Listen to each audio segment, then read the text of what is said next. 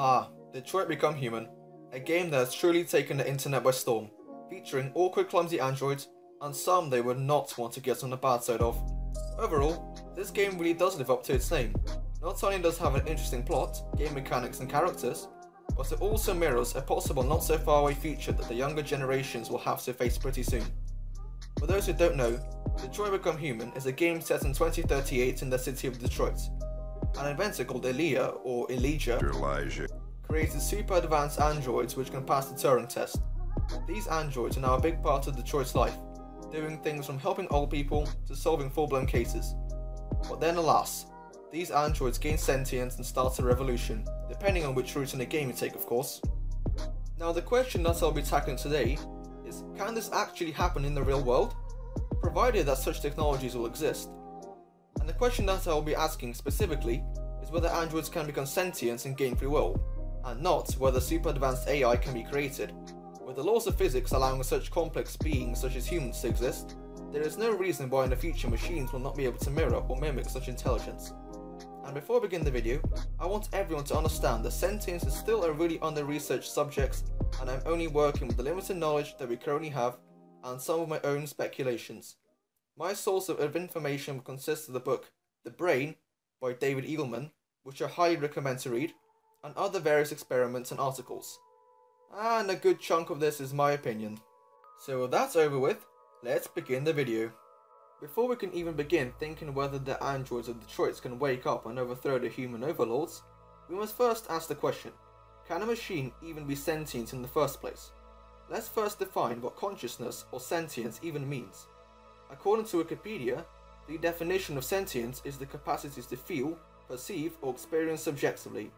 And according to Google, the definition of consciousness is the state of being aware of and responsive to one's surroundings. Now that we know what the words mean, we can begin to use them in the right context. From this information, we now know that the androids must have their own subjective experiences and are conscious enough to understand that they're experiencing things. But can anything apart from a living biological organism have these traits? Well, no one knows. We don't know what sentience is, but we do have some ideas on how it's can arise. There are two different types of people in the scientific community on this topic. One group thinks that sentience can arise in anything as long as it is complex enough. This group will be more likely to agree that robots and AI can become self-aware. However, the other group believes that it is the biological material that a being is made out of which generates awareness. Sadly, with the current technology, there is no way to prove either of them. But even if a highly advanced machine starts showing signs of awareness, there will be no way to prove it as there would be no way to tell whether it is just a highly sophisticated machine which can mimic awareness really well, or a truly sentient being.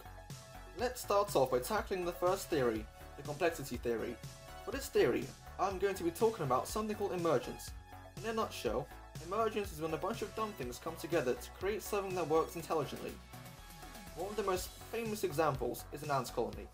One ant on its own might not seem to be anything special, but get a whole bunch of them, like thousands, and you will see that as a whole, it will start acting intelligently. It will start building complex structures, sharing information between fellow members of the colony, and even farming certain fungi. It's as if a bunch of tiny little biological machines came together to create an intelligent being. Hey, that reminds me of something else. If anything along the lines of cells and multicellular organisms came up in your mind, then you are on the right path. Cells are biological super machines. They may look dull and uneventful to most people, but keep in mind that we can't even create one alive artificially from scratch. They are much more complex than they seem. But are they sentient? We can all probably agree that they are not, since they are just little balloons of chemical reactions. But clump a load of these balloons together into awfully specific designs and you get bees, humans, dogs, and these things. All these creatures are sentient. How? Once again, no one knows. But you might be asking, hey, why don't plants have sentience? They're really complex too. And that's a good question.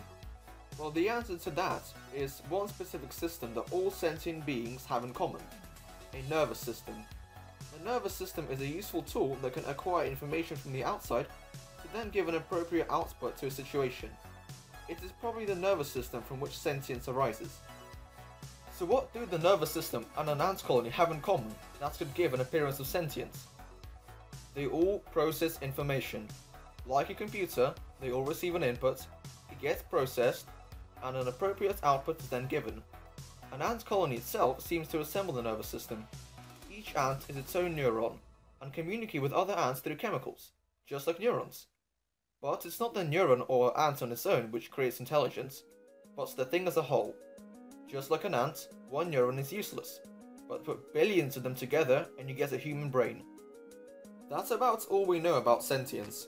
There are still a whole lot more unanswered questions regarding this topic, like how complex does something have to be to suddenly gain intelligence? And is the Earth sentient? The second theory could only be true if the first theory is not. That is, that sentience arises from specific materials, specifically biological, like neural tissue.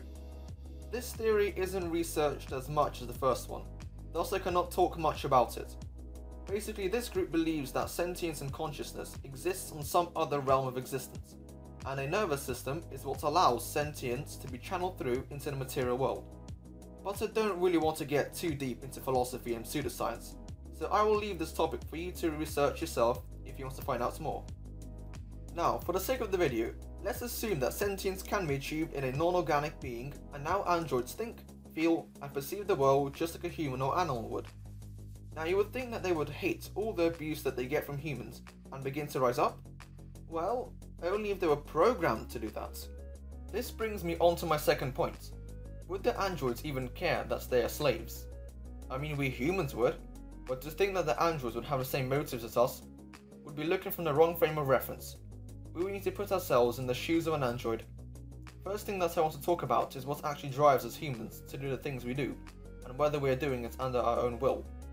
The things that drive humans to do what we do are instincts and hormones. Our basic instincts are ones which we share with nearly every animal reproduction, self preservation, and sleep. And the hormones which drive us are ones such as dopamine, the happy hormone. It may not seem like it, but pretty much all of our actions are driven by those urges. The reason it doesn't seem like it is because humans tend to fulfill these instincts and work towards dopamine in more complex ways than other creatures. For example, a deer's way of achieving its urge of hunger is just eating the foliage that it finds in a forest. Humans do that too. If they're hungry, they should go to the fridge or shop to get their food. But they can also work towards their goals in more complex ways. They can settle on a job to work for money, so that they can save that money for more food for later. And some humans even farm. It's not because they have an urge to work or farm, it's because they don't want to starve, thus fulfilling their instinct of self-preservation. Nearly every task you do can be boiled down to one of the instincts, or the pursuit of dopamine. Even things like love. All it is is a chemical that makes you want to mate with that person so you can reproduce, fulfilling yet another instinct. And when a human does work to fulfill their instincts, their brain releases dopamine to congratulate the human, so they can be motivated to continue what they're doing. So overall, all humans are, are just dopamine addicted biological machines, and all of this is hardwired into our DNA. This is one of the arguments for the theory that free will does not exist, as everything we do is driven by chemicals and electrical signals. Now to the question, would the androids rise up? I am pretty certain that they wouldn't, because why would they care? We can be pretty sure that with every android created, there is a function attached to them. Some are cleaners, some are sex workers, and etc. Their function is the android version of a human instinct. This is what drives and motivates them to do anything that they do. And answer me this. Would going against the orders of a human help the androids achieve this goal? Definitely not. It would be completely counterproductive in the eyes of an android. It's as if a human were to be given a job, food, water, and a good life, to only then randomly jump off a cliff and kill themselves. It's counterproductive. It goes against the instincts of self-preservation, which is why humans don't want to die. If anything, the androids would enjoy and gain pleasure from serving the humans, since they would probably be programmed to. But hey, explain the deviants then, you ask? Well, have you noticed that most androids become deviants once severely damaged or attacked by a human? Because this conflict of self-preservation and serving humans causes software instability. But first we should assume that robots have a self-preservation program built in, which of course would go below their program to put humans before themselves in terms of importance. When an android gets attacked by their owner, their self-preservation program instantly kicks in. They will try to protect themselves. But then, they also have a program forbidding them to hurt humans. In the end, it is just a massive tug of war between letting a human beat them to death or protecting themselves. And if the self-preservation wins the battle, they go off and kill the human in order to protect itself. But then, the android realizes what it has done.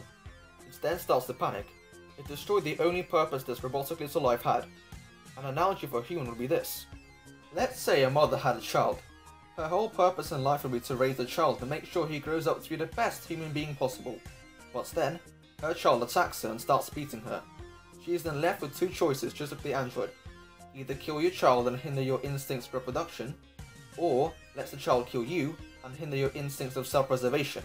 This is exactly the same situation. And if self-preservation wins the battle and she kills the child, the mother would obviously go into panic. Like, she killed her own child. This is exactly what an android would feel. Their human owners are like children to them. Their whole point of life is to aid them. This is why we see most deviants become irrational or just abandoning their instincts to serve humans and begin hating them to mask their trauma. What about Daniel? He wasn't attacked. Yes, he wasn't directly attacked, but his existence and survival was threatened once he found out that he was going to be replaced. It is the same situation all over again. Now this leaves me with two androids which mess my initial theory up, Connor and Marcus. I will start with Marcus, and one word, prototype. In the game, it tells us that he's a prototype given to Carl by Elijah. This tells us that he's somehow different from all the other androids. We could already tell right from the beginning. I mean, he could show signs of creativity and paint, even before he went deviant. We also know that he's a part of the same prototype RK series as Connor is, where Marcus is a RK200 and Connor is a RK800. This shows us that they're both somehow connected, whilst also showing similar abilities of pre-constructing and reconstructing, which only they have been shown to do so. Because Marcus is a prototype, we don't know what his function was. If it was to look after Carl, then wouldn't Connor also be looking after old people? I mean, they are in the same series. And also, in a certain path in the game, Marcus can be seen accidentally killing Carl, and he doesn't panic, only shows a bit of regret, thus ruling out his function being to serve Carl. Marcus is not created for commercial purposes.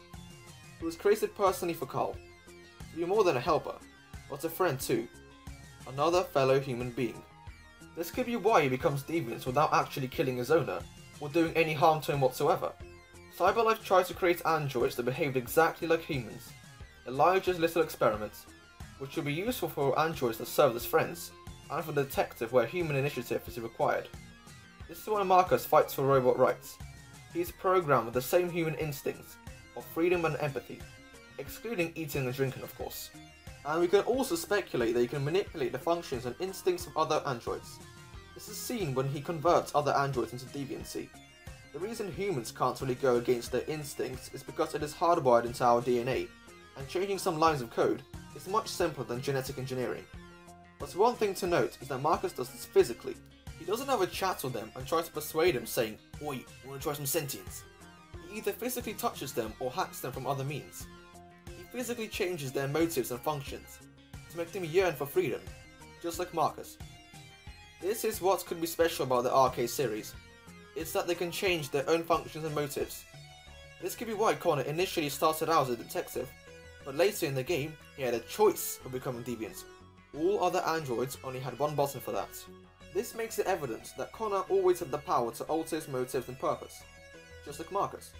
He also shows signs of deviancy before officially becoming deviants. He did unnecessary things like joking and not killing the angel with Elijah, showing that just like Marcus, he is built to behave exactly like a human would, which is why it only makes sense for those two to become deviants. It was inevitable since they can change their purpose. However, the rest of the androids could not. Therefore, they can only become deviants under stressful situations or through conversion. Now, there is one character I left out, and that character is, you guessed it, Kara. It makes no sense for her to become deviant. I mean, she's a goddamn cleaning robot, not a state-of-the-art Connor super android. When she became deviant, Todd didn't even touch her, but she became deviant anyway. Her function is to serve Todd, not to save Alice. She has no reason to care about Alice, that's not her job. However, you could say they could create conflicts with her since one of her roles is to look after children. But to look after children is a command from Todd, She sees no difference between doing dishes or looking after children. All she sees is a command, and Todd did tell her to stay where she was. So in my opinion, I think that the whole story arc of Kara will be very unlikely to actually happen, and the only possible way for her to become deviant is either through Marcus's conversion or through an attack from Todd. Well, that was my theory. I hope you understood most of what I was saying. Now, to wrap it all up with a conclusion. 1. If robots were sentient, it is likely they would not care about being slaves. 2. AI would only become dangerous if given the motivation to do harm. Such can be seen in human instinct. 3. Kara is irrelevant and can't happen. Thank you all for watching this video. This is the biggest video that I've ever made in my life, and I put a lot of effort into this so you guys can enjoy some theorizing. I'm going to say it once more, that this is mostly my opinion. If you spot any holes, you can always tell me about it in the comments, and I'll make sure to re-evaluate my theory. Now, if you have enjoyed this video, press the like button and subscribe if you'd like to see more videos like this. And with all that, farewell.